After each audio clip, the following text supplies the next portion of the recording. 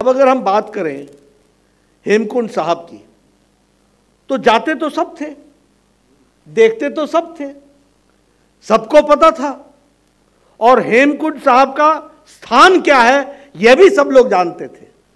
लेकिन एक हज़ार एक सौ तिरसठ करोड़ रुपए लगा करके, उसको बना करके, एक दिन की यात्रा को 45 मिनट में करने की जो योजना बनाई, वो प्रधानमंत्री मोदी जी ने।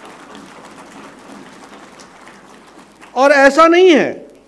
यानी 12.5 किलोमीटर का रास्ता 45 मिनट में अब कवर होगा। और एक दिन का, और जाना, आप सब लोग, हम सब लोग पहाड़ में रहते हैं, हमें मालूम है। दिखता आसान है, जब चढ़ना शुरू करते हैं तो पता चलता है कि क्या यात्रा होती है। लेकिन उसको मुख्य धारा में लाना, यह भी हम सब लोगों को ध्यान में आता है कि किस तरीके से। अभी सब लोगों ने चर्चा की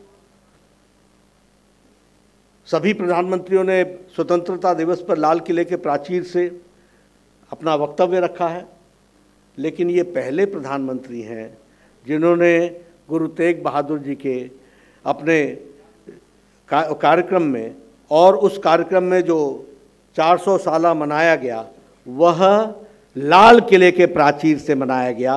और जैसा सिरसा जी ने कहा और वहाँ पर प्रधानमंत्री ने कहा कि ये लाल किले की दीवारें जो उस समय इसकी, इसके साक्षी थे, वो आज गुरु तेग बहादुर जी के शौर्य की, त्याग की, तपस्या की गाथा भी वही पत्थर सुन रहे हैं और वो हमको